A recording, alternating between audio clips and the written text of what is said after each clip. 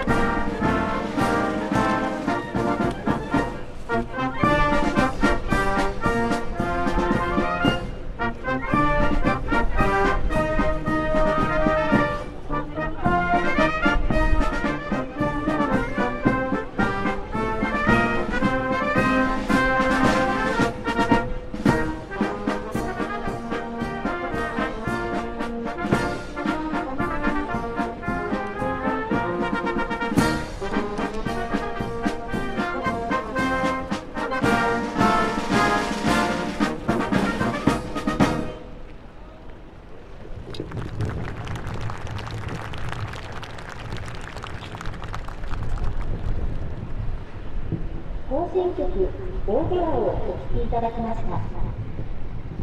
それでは次に加藤はやぶさ戦闘隊をお聴きいただきましょう。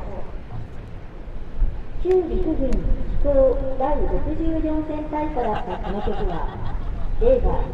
加藤はやぶさ戦闘隊の主題歌になりまたレコード化とともに国民に知られそのまま加藤はやぶさ戦闘隊と呼ばれるようになりました。エンジンの音ゴーゴーとはやぶさが行く雲の果てと始まり旧陸軍戦闘飛行隊に共通するスピリットを歌詞にしたと言われております。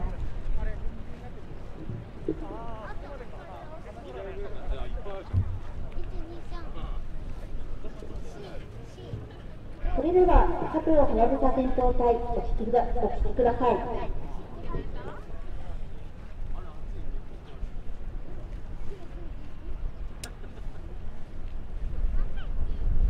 t h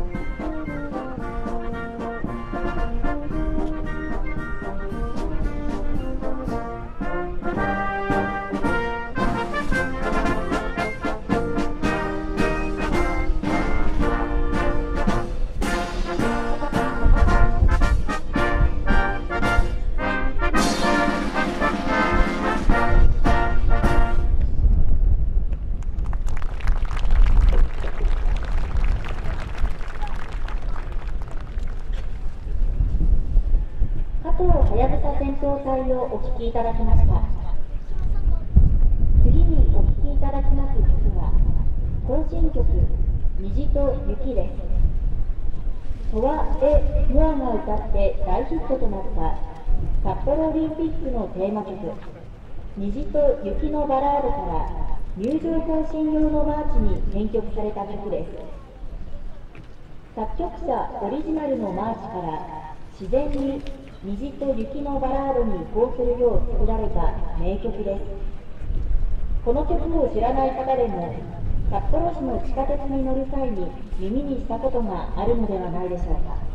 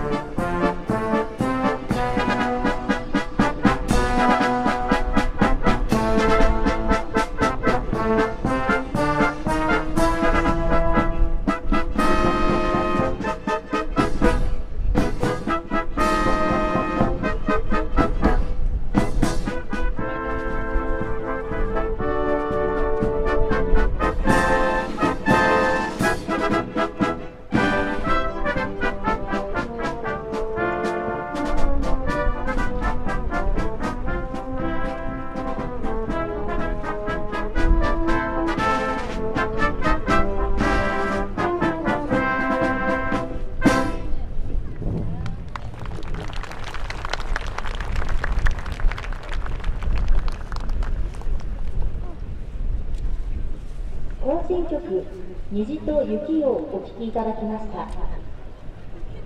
次の曲は今年で55年を迎えるイギリスで放送された人形劇による特撮テレビ番組「サンダーバード」のテーマソングです。最新気鋭の科学技術によって開発されたスーパーメカサンダーバードを駆使して災害や事故などで絶対絶命の危機に瀕した人々を救助する活躍を描いた物語です。ではアンダーガードのテーマソング。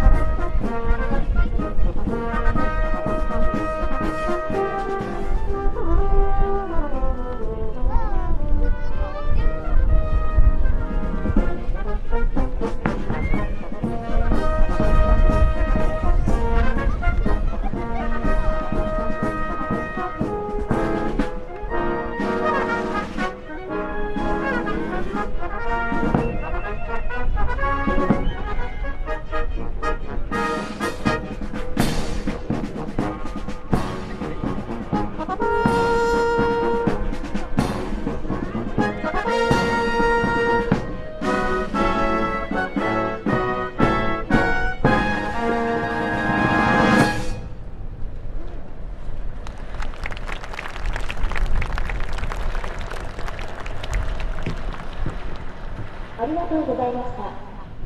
演奏は陸上自衛隊北部方面音楽隊。